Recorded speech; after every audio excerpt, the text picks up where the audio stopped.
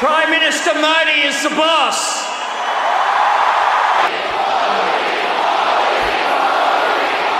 इस आदमी की आ, ये है क्या है करिश्मा है होल्ड ओवर द पीपल ऐसा है इतना पॉपुलर है। कुछ खाजा पॉलिसी के अहम इश्यूज़ भी हैं। मसलन हमारे हमसाए में आजकल बड़े तरक्की के ज़ोरों पे हैं वो लोग माशी तरक्की के। इसलिए तकबर भी ज़्यादा आ गया है। नरेंद्र मोदी साहब ने लेकिन दुनिया भर में भारत का एक पॉजिटिव क्यों इमेज है? इसलिए कि जो भारतीय डायस्पोरा है, वो अपनी रियासत से खुश है। वो जो दुनिया के जिस भी मुल्क में होते हैं वो उनके लिए पॉजिटिव बात करते हैं। अब देखना ये कि क्या फिर से कोई रद्द अमल आएगा जबकि अभी तक पूरी कौम ये जो गुजश्ता अफसोसनाक रद्द अमल है उससे नहीं निकल पा रही है। हम मर रहे हैं हम डिफ़ॉल्ट में जा रहे हैं हमारे पास कोई ऑप्शन नहीं है। मोदी को मैं क्रेडिट देता हूँ। I like Modi I love Modi. Guinea जो है उसने नारा मारता है मोदी जो है ना वो ग्लोबल साउथ का लीडर है, थर्ड वर्ल्ड का लीडर है। अब आप इमेजिन करें कि इंडिया ने वहाँ पे अनाउंस किया जी कि वो फीजी के अंदर सौ बेड का हॉस्पिटल देंगे। मोदी के साथ तो उस पर उन्होंने वो खुद से उनके पास चल कर आया और उन्होंने कहा कि यू आर टू पॉपुलर बहुत ज़्यादा आप पॉपुलर हैं और मुझे आपका ऑटोग्राफ चाहिए। इसके ऊपर फिर मेरा ख्याल है कि आगे से जो जेस्टर आया होगा हैरानी का या हंसने का ये जो भी था तो उन्होंने कहा कि नहीं आप क्या इसको मज़ाक समझ रहे हैं? तो ऐसा नहीं है क्योंकि जो आवाम है वहाँ पर आपकी क्रेज़ी हो रही है और जो हमारी टिकट्स हैं। वो कह रहे हैं जनाब कि हम तो आ, आपको leader of the global south कहते हैं।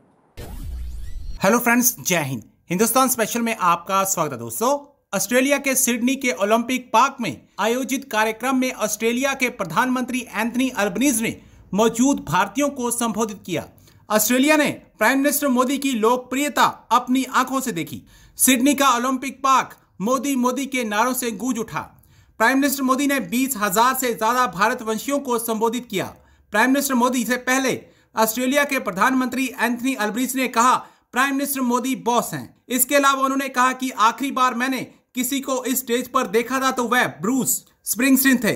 और उन्हें वैसा स्वागत नहीं मिला था जैसा प्रधानमंत्री मोदी को मिला है। प्राइम मिनिस्टर मोदी बॉस हैं। इस दौरान पूरा स्टेडियम मोदी मोदी के नारों से गूंजता रहा।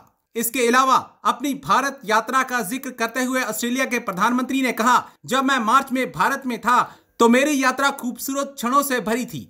अब पाकिस्तान मीडिया भारतीय प्रधानमंत्री की लोकप्रियता को देख सकते में है। और ये चर्चा कर रहा है कि ऐसा पहले कभी ना देखा, ना सुना। चलिए जी, कुछ जरा आगे निकलते हैं। एक और खबर मैंने आपको देनी है और बड़ी एक खबर मैं देख रही थी। मैंने कहा, प्रेसिडेंट बाइडन ने किसी का ऑटोग्राफ मांगा है। तो वो कौन है जिसका ऑटोग्राफ प्रेसिडेंट बाइडन मांग रहे हैं?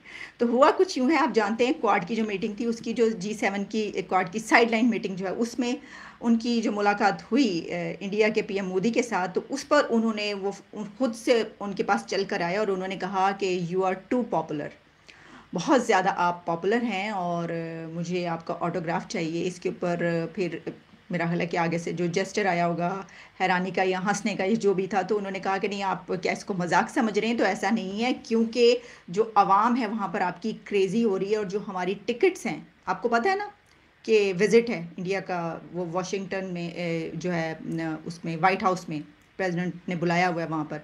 तो उसके लिए जो उनकी टिकट्स हैं वो ऑलरेडी सोल्ड आउट सारी टिकट्स ख़त्म हो गई हैं और लोग फ़ोन कर कर के हमें ये कह रहे हैं कि हमने आना और हमें दिया जाए।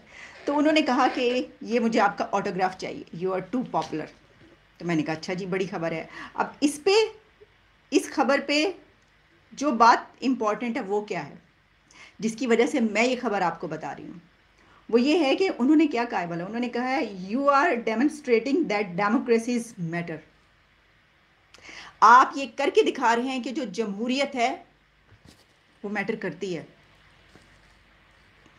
ये है बात बड़ी। हम्म, ज़रा कंपैरिजन कर लें हमारे यहाँ पर क्या चल रहा है और वहाँ पर क्या चल रहा है। तो ये देखें कि एक बड़ी जमहूरियत बड़ा मुल्क वो सब कुछ अलग लेकिन उन्होंने ये कहा। अच्छा इससे पहले अगर आपको याद हो कुछ अर्सा पहले तो प्रेसिडेंट बाइडन जब इस टर्म में उनकी नई नई स्टार्ट हुई थी तो उन्होंने कुछ काफ़ी ये कहा था कि हम तो ये करेंगे, हम तो वो करेंगे, ये जमहूरियत जो है ठीक नहीं चल रही, इंडिया के वाले से काफ़ी चीज़ें उन्होंने कही थी। लेकिन अब देखें वो ये कह रहे हैं कि आपने ये साबित किया है कि जमहूरियत जो है, वो है और वो एक हकीकत है और मैटर करती है। भारत के वज़ीर अजम जो नरेंद्र मोदी हैं, उन्होंने क्या ग्लोबल लीडर की तरह एक्ट करना शुरू कर दिया है? ये एक बड़ा इंपॉर्टेंट क्वेश्चन है। अभी देखें कि for example prime minister Modi जो हैं वो जी सेवन के विज़िट पे गए जापान में फिर पापा न्यू गिनी गए फिर जी forum for Indo India Pacific island cooperation फिर ऑस्ट्रेलिया जा रहे हैं। सो so, इससे ये पता चलता है कि जैसे बाइडन कभी हुआ करते थे हुआ करते क्या अभी भी हैं? बाइडन हो या फ्रेंच प्रेसिडेंट हो या जो बड़े लीडर्स हैं, वो जब एक दफ़ा मुल्क से निकलते हैं तो वो सिर्फ़ एक मुल्क के लिए नहीं निकलते। वो दो, तीन, चार, पाँच मुल्कों के लिए निकलते हैं। पूरा एक सीरीज़ करते हैं वो।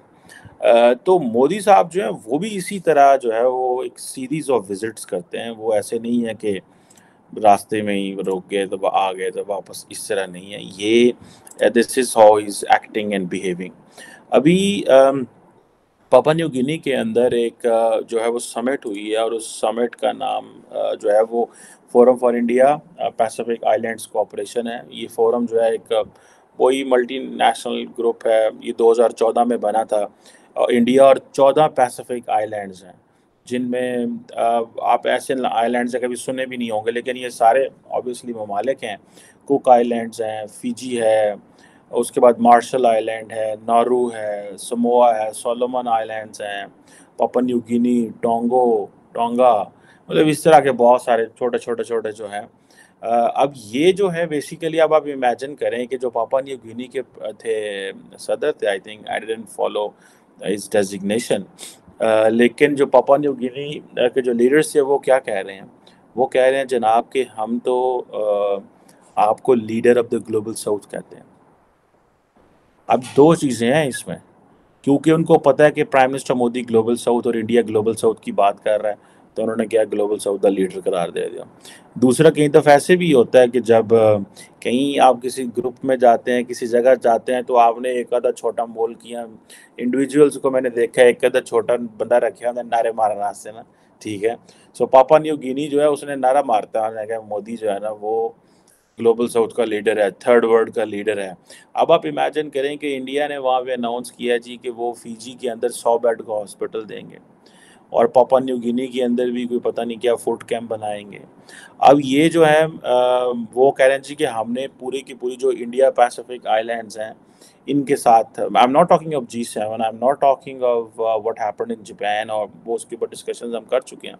लेकिन ये जो नो ओरिएंट न्यू ओरिएंटेशन है इसको समझने की ज़रूरत है। Uh, और अब देखें कि ये जो इंडिया पैसिफिक आइलैंड कंट्रीज़ थे इनके जैसे मैंने फिजी का बताया पापा न्यू गिनी में को आईटी साइबर सिक्योरिटी ट्रेनिंग पता नहीं क्या। I once met Papua New Guinea के एक मिलिट्री ऑफिसर को मैं फ्रांस में मिला था एक कॉन्फ्रेंस में।